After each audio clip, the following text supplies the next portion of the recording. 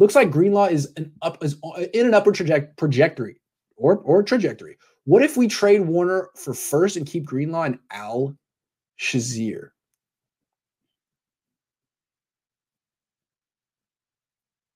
No, don't do that. Don't do that. Don't do the thing you did with Buckner. Don't do that.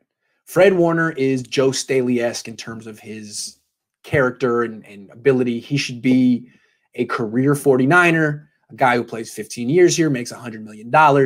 It has his jersey retired. No, no, no, no, no, no, no, no, no. No. He just became the leader of the team. Now you trade him and, and replace him with a guy who Dre. No, I like Dre Greenlaw. That's a tandem.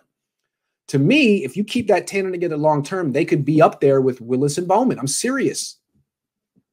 serious. They could. They're not there yet, but they have that kind of potential. Keep them. That is actually the heart of your defense right there. Your your linebacker tandem. It's the best thing the Niners have.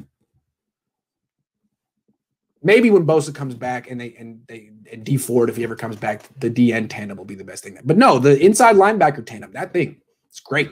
Keep them both. Please don't get rid of Fred Warner. That would be a mistake.